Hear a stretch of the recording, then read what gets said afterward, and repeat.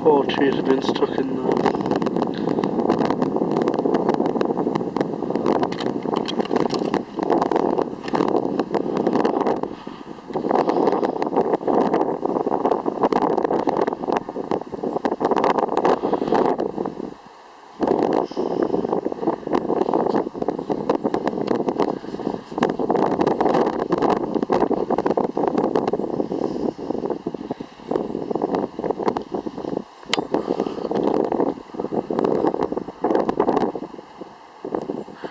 amazing creature.